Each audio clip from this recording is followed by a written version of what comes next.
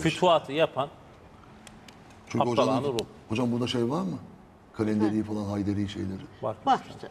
Ee, Abdallah Rum dediğimiz zümre, grup, Yani Anadolu'nun abdalları. Anadolu'nun abdalları e, Osmanlı Devleti'nin e, sınırları içerisinde, beyliğin ilk dönemdeki sınırları içerisinde yaşayan Türkmen dervişleridir.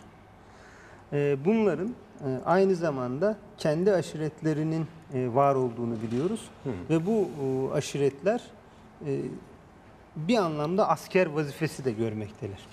Fetihlere bunlarla katıldıklarını biliyoruz. Daha beylik kurulmadan önce e, Bilecik yakınlarında Şeyh Edebalı'ya mürit olduğu söylenen, onun bağlılarından olduğu ifade edilen Kumral Abdal isminde birisinden söz edilir. Kumral Abdal'ın Karacahisar'da bugün zaviyesi var. Yani Eskişehir yakınlarında bir zaviyesinin olduğunu biliyoruz. Hatta e, Osman Gazi'ye ilk defa beylik kuracağı müjdesinin e, onun tarafından verildiği ve kendisinin hizmetine girmeye hazır olduğunu söylediği rivayet edilir. Edebalı belki söz açmamız gereken önemli bir kişi Osmanlı Devleti'nin kuruluşunda e, bir vefai dervişidir.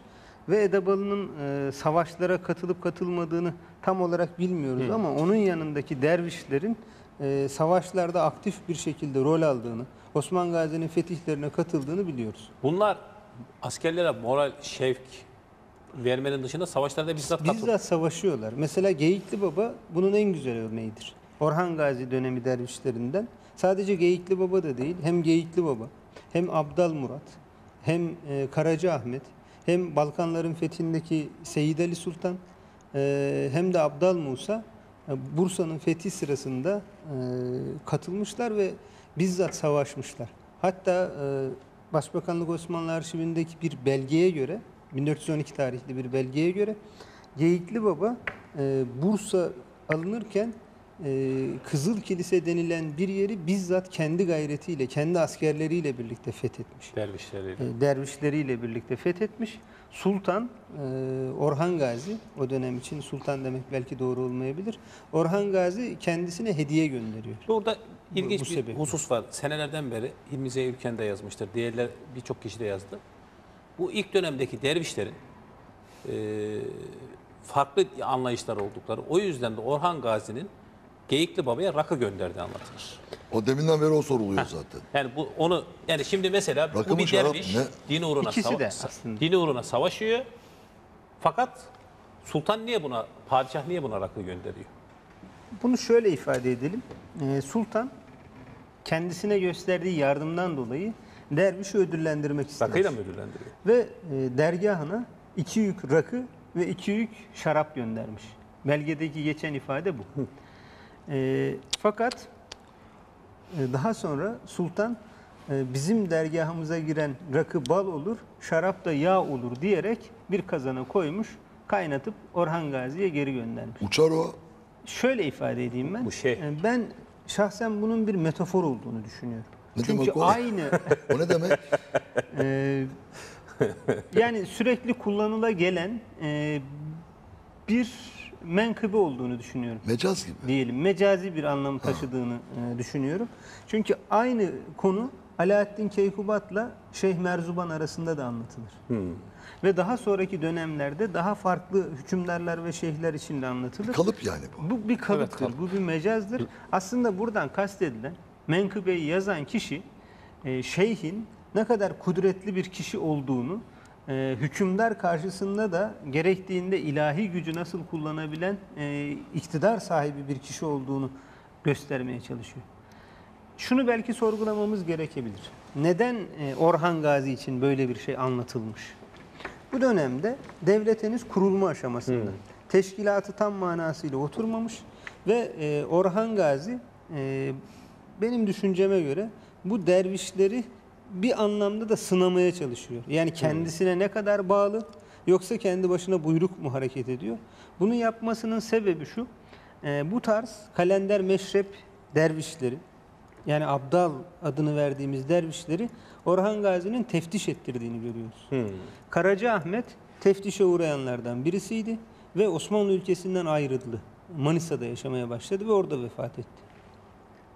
Aynı şekilde başlangıçta Osmanlı ülkesinde olan e, Abdal Musa da bu teftişten sonra Osmanlı ülkesinden ayrıldı. Türkmen nüfusun daha yoğun olarak yaşadığı Antalya Elmalı bölgesine gitti ve orada vefat etti. Bugün türbesi orada.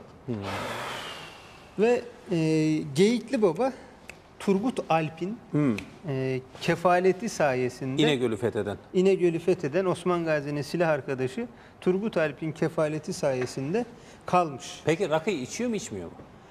Yani çünkü bak Belgede- genelde o İlmi Yüze Ülken ilk defa yayınlamıştı herhalde o Alemiri tasnifindeki belgeyi. Yani bunların e, sünnilik dışı gruplar olduğunu, şeyh olmalarına rağmen içki içtikleri yönünde yorum yapıldı senelerce. Ben şunu söyleyebilirim. Hilmi Ziya Ülken'in kullandığı belge vaktiyle farklı yerlerde de bulunmuş bir belge. Arşivdeki belge o zaman henüz tespit edilmemiş. Metinde rakı sözü geçiyor Ee, mu? geçiyorum. Arak mı diyor? Arak. Arak diyor. Evet. Çünkü seyircilere şey takmışlar, rakı var mıydı diye. Arak. Evet. Arak olarak geçiyor.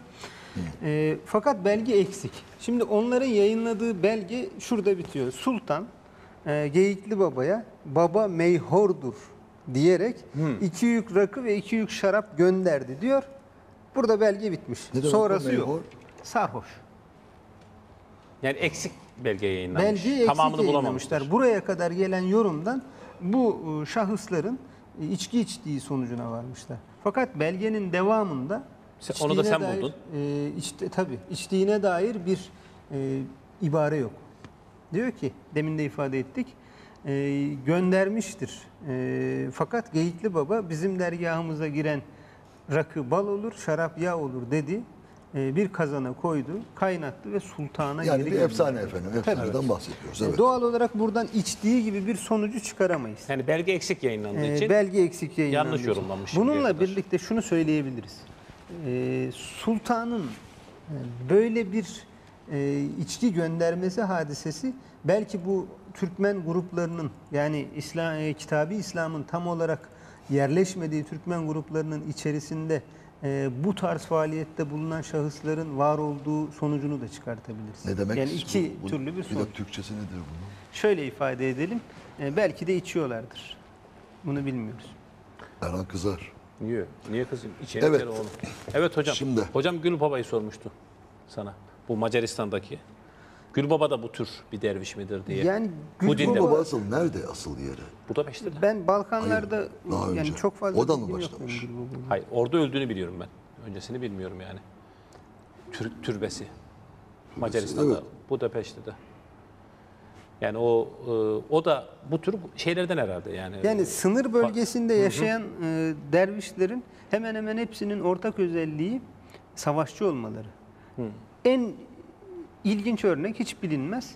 E, Yazıcızade'yi bilirsiniz. Muhammediye yazı, e, yazarı Yazıcızade. O Muhammediye'yi yazarken kitabın içerisinde şöyle bir cümle geçiriyor. Kendisi Gelibolu'da e, orada yaşamış, orada vefat etmiş. Buraya diyor zaman zaman düşman saldırırdı. Biz onlarla gaza ederdik diyor. Hmm. Yani o bile bir e, gazi derviş. Hatta bunu e, daha sonra kitabının içerisinde e, biraz da ruh katmak için işte diyor e, gördüğünüz gibi bizim gazamız iki türlüydü diyor. Bir büyük gaza yapardık, bir de küçük gaza yapardık. Büyük gaza nefsimizle yaptığımız gazaydı diyor. E, Küçük gaza ise düşmanla yaptığımız gaza.